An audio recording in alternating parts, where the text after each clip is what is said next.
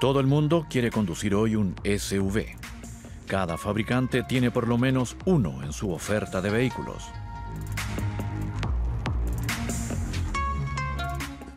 Pero ¿cómo llamar la atención? Quizás optando en lugar de un SUV por un SUT, un Sports Utility Truck.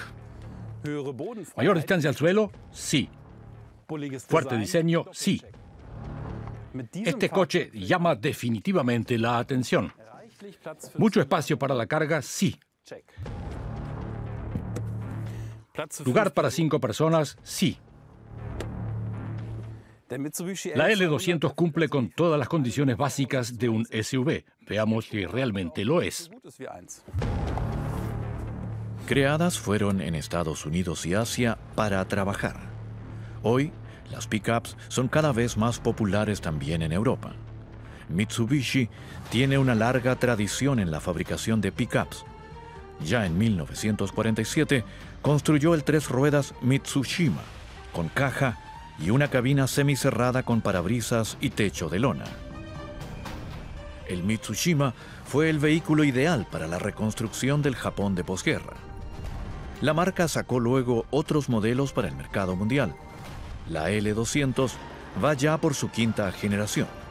En Alemania se vende desde 2015. El exterior se ve deportivo y moderno. De inmediato queda claro que este no es un SUV para la ciudad, sino una verdadera pickup de trabajo. Se ofrece con cabina simple o doble, como en nuestro vehículo. En la caja para la carga entra sin problemas un Europalé.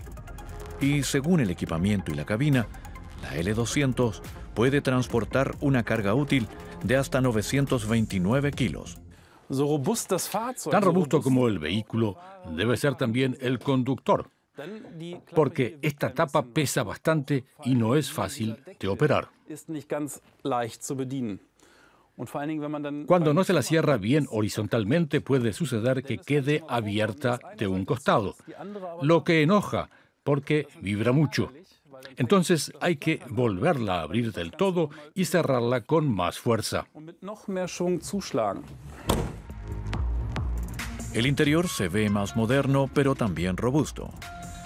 El sistema de infoentretenimiento incluye los sistemas Android Auto y Apple CarPlay. Los asientos delanteros vienen con calefacción. El volante agrada al tacto, está bien terminado y tiene una clara estructura.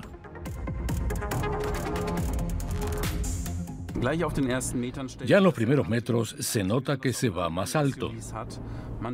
Tan alto que incluso los otros SUV se ven pequeños. Todo funciona bien en tanto se ande en línea recta. Al doblar, si se quiere mirar por sobre el hombro, se constata que no puede verse mucho. Se debe a que la caja es tan alta que desde la cabina no queda claro dónde termina el coche.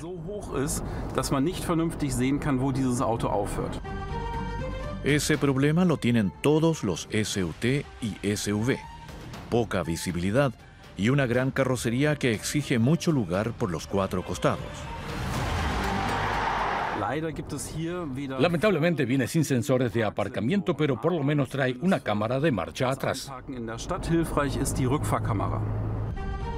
Sensores de aparcamiento pueden comprarse a buen precio en tiendas de autopartes. También otra característica revela que se trata de un vehículo de trabajo. Cuando se arranca delante de un semáforo o se acelera en la autopista y se sube de marcha, de inmediato se nota que la L200 tiene un motor diésel que prácticamente carece de aislamiento acústico. Pero su potencia es realmente impresionante. Y la L200 alcanza también grandes velocidades.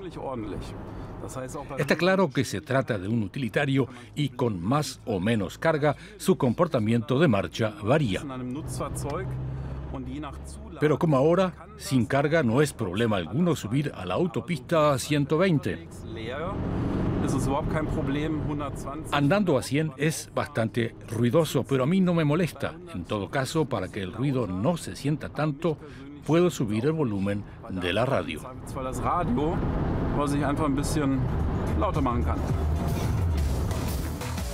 En cuanto a ruido, la L200 no puede competir con los SUV de ciudad. Prioridad tiene la potencia del motor, superior a la de todo SUV de ciudad.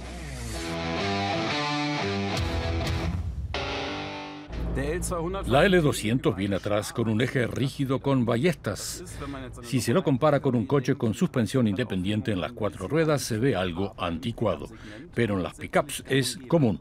Las irregularidades del terreno se sienten bastante, sobre todo en los asientos de atrás. En los baches el coche se zarandea, pero es una pickup, es decir, cuando lleva algo de carga, el comportamiento de marcha cambia claramente y es mucho más calma atrás.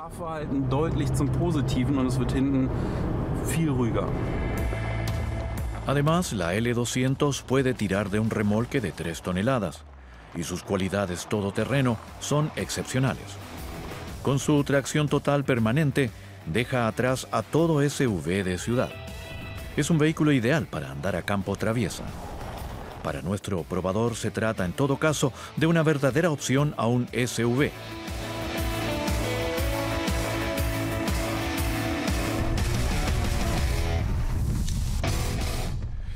En la L200 de inmediato me sentí a gusto. Claro que, debido al largo, hay que poner cuidado a cómo y dónde se anda, pero es un comportamiento de marcha amable y confortable, el de la L200.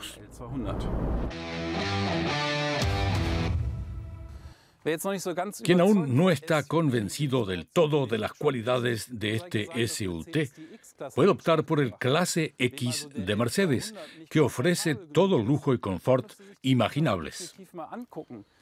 Pero hay que tener en cuenta que la Mitsubishi L200 cuesta con el equipamiento superior unos 40.000 euros. Esa suma no alcanza del todo para el clase X. Porque ese es apenas el precio de partida.